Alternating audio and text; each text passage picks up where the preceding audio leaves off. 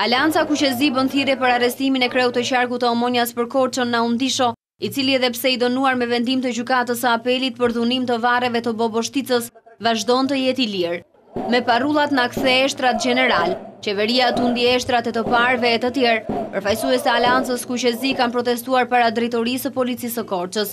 Ata kanë lëshuar akuza të ashpra edhe ndaj qeverisë që sipas tyre po bën pazare me Athinën zyrtare për eshtrat e të parëve, duke mos dorëzuar Dishon, të cilin e kanë quajtur kriminel.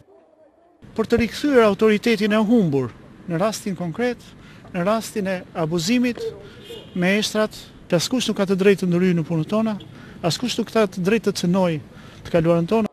Duke akuzuar autoritetet greke për ndërhyrje në çështjet e drejtësisë së Shqipërisë, Aleanca i kërkoi Athinës të distancohet nga dhunuesit e varreve.